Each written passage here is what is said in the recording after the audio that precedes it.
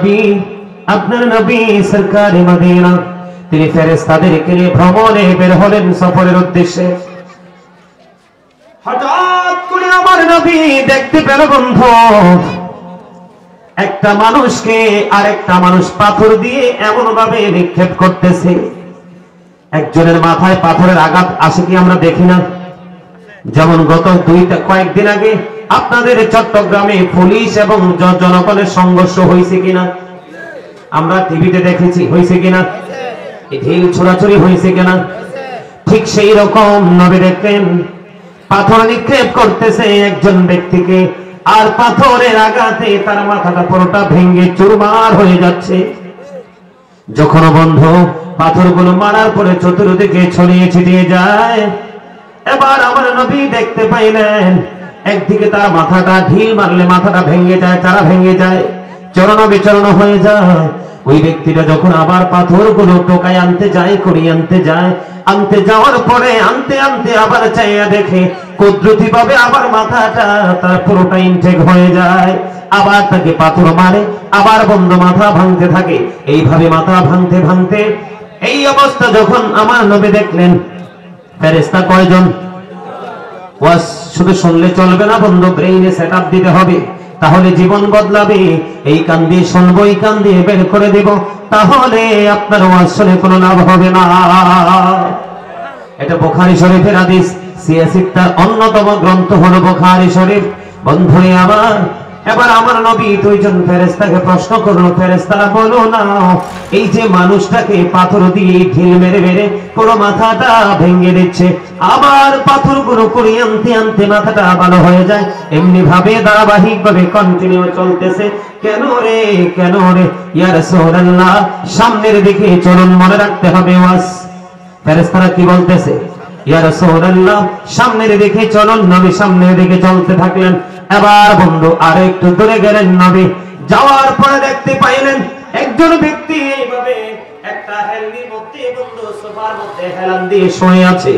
আরেকটা, আরেকজন ব্যক্তি লোহার চিরুনি বা আকরা লোহার চিরুনি চিনেননি লোহা দিয়ে ধরেন, ছোট ছোট ছোটকা দাঁত আছে, এরকম লোহার চিরুনির মতো, বন্ধু। এই দিক দিয়ে তার চামড়াটা টান দিচ্ছে, এই পর্যন্ত চলে যায়। কি হয়ে যায়? এই পর্যন্ত তার বন্ধ চলে যায় এই দিক দিয়ে চামড়া ছলে ওই দিক দিয়ে চামড়া ছলে এই দিক দিয়ে ছলে এই দিক দিয়ে জোড়া লাগে এই দিক দিয়ে চলতেছে এই দিক দিয়ে জোড়া লাগতেছে এবার ওই নবী দুইজন ফেরেস্তাকে প্রশ্ন করল ফেরেস্তারা বলো না এই মানুষটার কেন এই সাজাটা বহা বহাল রইল কেন বরাদ্দ রইল এই দিক দিয়ে চামড়া ছুলে দিচ্ছে আবার এই দিক দিয়ে চলতেছে এক দিক দিয়ে ছলে আরেক দিক দিয়ে জোড়া লাগে এবার বন্ধ আমার নবী যখন প্রশ্ন করল ফেরেস্তারা ওই ব্যক্তির প্রশ্নের জবাব দিল না। বলল, সামনের দিকে চলুন, জোরে জোরে বলেন না, আল্লাহ কয়টা দৃশ্য? কথা বলেন না কেন? নবী গো, সামনের দিকে চলুন। আবার নবী সামনের দিকে রওনা দিলেন। সামনের দিকে যাইয়া নবী আরও একটা দৃশ্য দেখতে পাইল।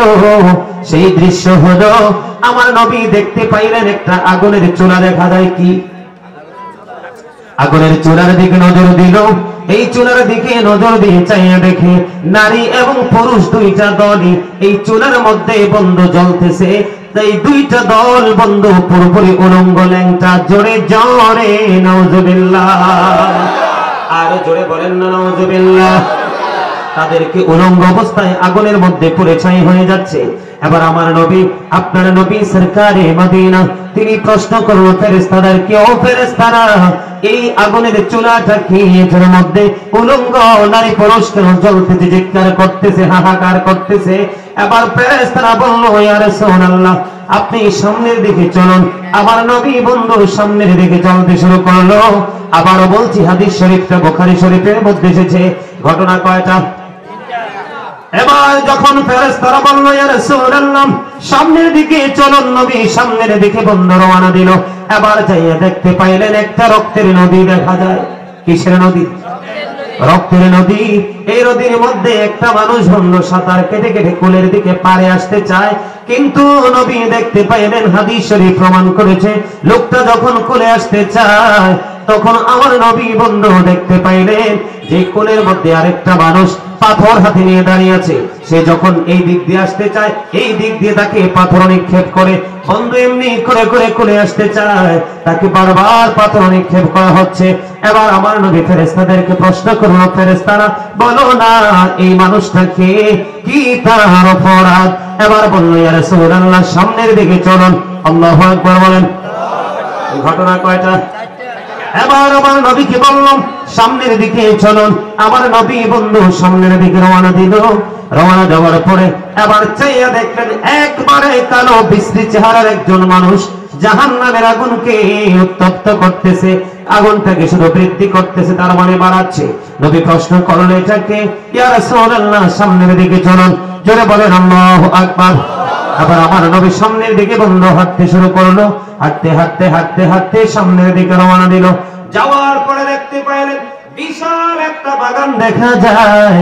এই বাগানের মধ্যে এমন একজন মানুষ, ছোট ছোট বাচ্চাগুলো দেখা যায়। এই মানুষটার জমিনের মধ্যে পা আর আকাশের মধ্যে মনে হয় মাথা লেগে আছে। আমার নবী প্রশ্ন করলেন, এইটাকে আর সাল্লাল্লাহ উত্তর দিল না, সামনের দিকে চলুন। জোরে জোরে, আল্লাহু আকবার।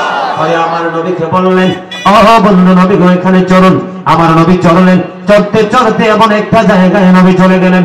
ওখানে যাওয়ার পরে দেখলেন, বন্ধু, এত সুন্দর সুন্দর দালান করে দেখা যায়, যার ইটগুলো স্মরণ এবং রূপা দিয়ে তৈরি। জোরে জোরে, আল্লাহ আকবার। আর জোরে বলেন স্বর্ণ এবং রূপা দিয়ে তৈরি। এবার অবন্ধ নবীকে ওখানে গেলেন। প্রশ্ন করা হলো এটা কি নবী গো? এটা জান্নাত? জোরে জোরে সুবহানাল্লাহ।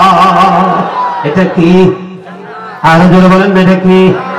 ফেরেশতারা উত্তর দিয়েছে জান্নাত। এবার আমার নবী দেখতে পাইলেন, কিছু অদ্ভুত মানুষ দেখতে পাইলেন, তাদের অর্ধাংশ একেবারে কালো আর অর্ধাংশ একেবারে বন্ধু সুন্দর। এবার ওই ফেরেশতারা তাকে অর্ডার করল, তুমি যাও ওই নালাতে, ডুব দিয়ে এসো। ডুব দেওয়ার পরে দেখলেন মানুষগুলো অত্যন্ত চমৎকার। এবার আমার নবী বললেন, এরা কারা? উত্তর দিল না। এবার আমার নবী জান্নাত দেখার পরে বলল, এখানে আমি থাকব।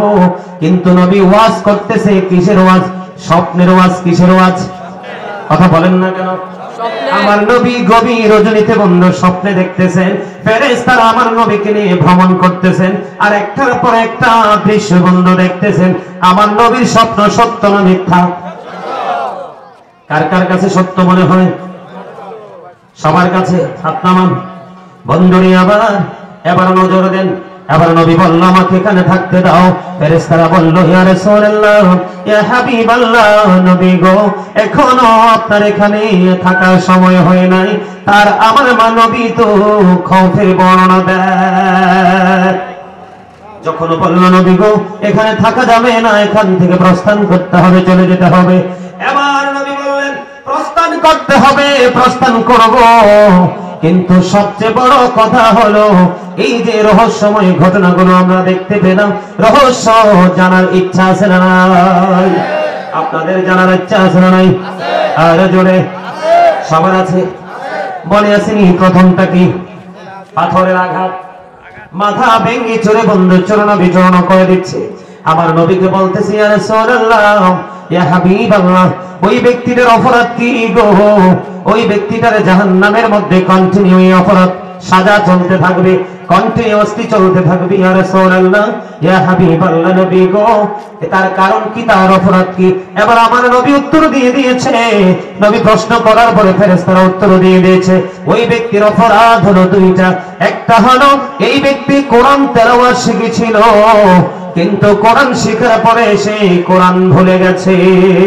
জোরে জোরে নাউযুবিল্লাহ আমাদের দেশে এরকম অনেক বেয়াদব আছে, আমি এদেরকে ভালো বলব না, বেয়াদব বলব। ঠিক ভদ্র না, অভদ্র? আপনারা তাদেরকে বেয়াদব বলবেন নাকি ভদ্র বলবেন? কেন বেয়াদব? কারণ কোরআন শেখার পরে যে ভুলে যায় তার মতো বিকৃষ্ট মানুষ আর আসমানের নিচে জমিনে থাকতে পারে না। ঠিক কিনা বলেন? তার প্রথম অপরাধ হলো, সে কোরআন তেলাওয়াত শিখেছিল। কোরআনকে চমৎকার ভাবে তেলাওয়াত করতে পারত। কোরআন থেকে এত দূরে চলে গেছে। কোরআনটা শেষ পর্যন্ত ভুলে গেল। সেকেন্ড তার অপরাধ হলো, সে রাতের বেলা ঘুমানোর আগে আল্লাহর গোলামি, শ্রেষ্ঠ গোলামি নামাজ, এই নামাজ পড়ে ঘুমাতো না।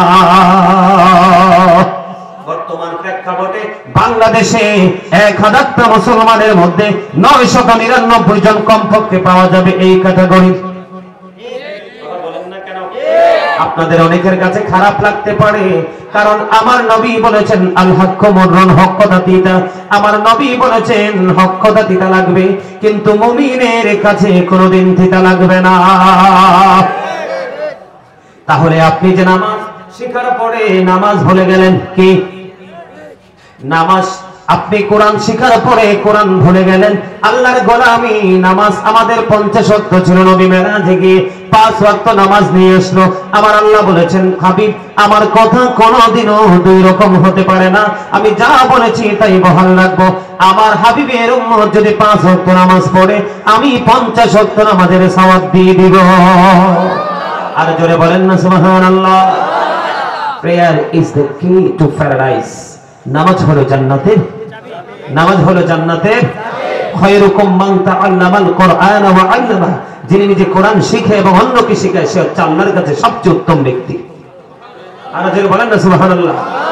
সবচেয়ে উত্তম ব্যক্তি তাহলে নামাজ এবং কোরআন দরকার আছে না নাই? আপনি যে নামাজ পড়েন না, কোরআন শিখে ভুলে গেলেন, এটার হিসাব আল্লাহর কাছে জবাব দিতে হবে না? এই হাদিস শরীফের এই অংশ থেকে কি প্রমাণ হয় না?